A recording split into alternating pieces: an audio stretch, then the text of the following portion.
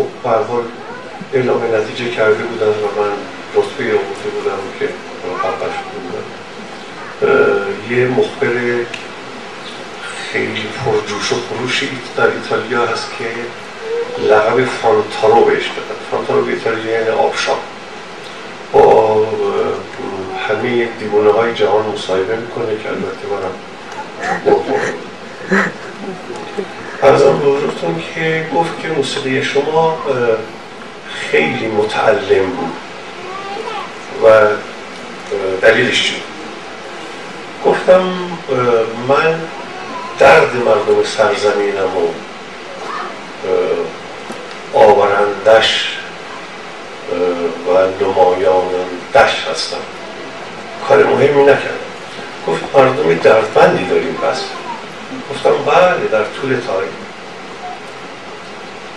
بعد خب پس الان میشه به گونه ای به شما گفت که سراینده رأس غم هستیم در شب چون خب در دهه اخیر شب عوض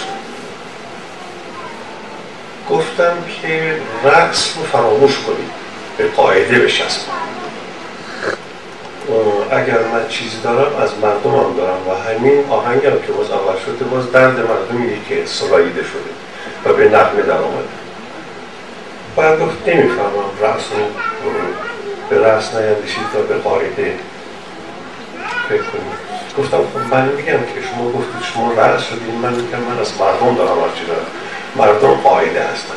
و هر چقدر که این قاعده بزرگتر باشه رأس باید بره بالاتر. چاره ای نداره. یعنی قاعده بزرگتر باشه رأس باید بره بالاتر خطوط برحال طولانی تر و برای اصطلاح قدوا تضمین صحبتم به فانتارو از اتار کمک گرفته بودم که صد هزاران خلق شد آتش پرست تا خلیل الله از آتش برست.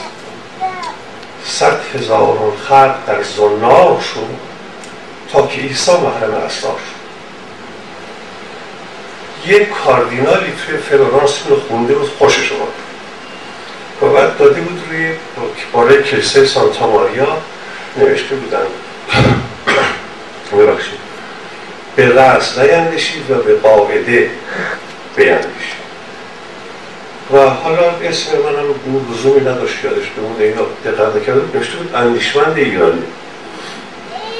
برش بچه های ایرانی هم که همیشه از تنازی بری نیستن دیگه یعنی تنز قوی دارن. می‌گفتن بیا برو به این کاردینالی بگو. اون اندیشمنده منم. یه چیزی زود بالای سر می‌ذاره دیگه از این باید بخور و بخواب. کارا نمی‌خواد. بکنی تمیرم نمی‌کنی بله مثل همیشه دیگه ارزی ندارم خدمتتون. خیلی خوشحال شدم. با گپ زدم. مرسی که از همه الطافتون